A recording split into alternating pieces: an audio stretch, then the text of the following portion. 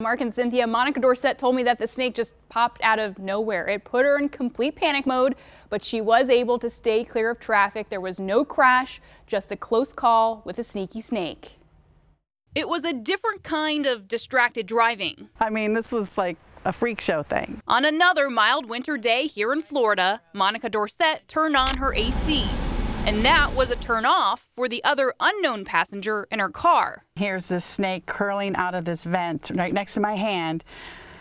And then I thought, oh my gosh, it is real. And I thought I was going to just like stop there, but I was surrounded by traffic. So I looked and I didn't see anybody in this mirror. So I just did a turn, right turn over two lanes into a parking lot. Dorsett swung open the door and jumped out of her SUV. The red rat snake slithered out, but it wasn't ready to leave her be just yet.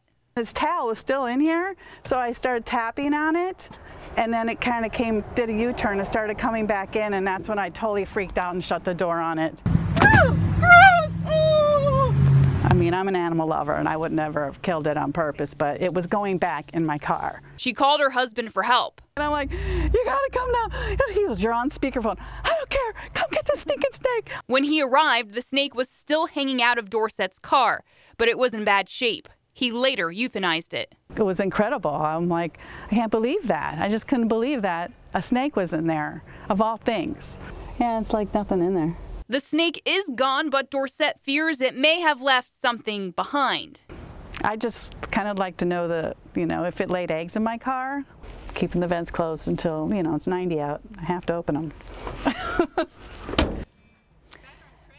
So, if you're wondering how the snake got into Monica's car in the first place, the week before her husband cleaned the car from top to bottom. He had the hood open, and that is when she thinks the snake snuck into it. She believes it was in there a week before she turned the AC on, and that was what forced the snake out of its comfort zone, guys. Yeah, probably don't like AC. That's probably true.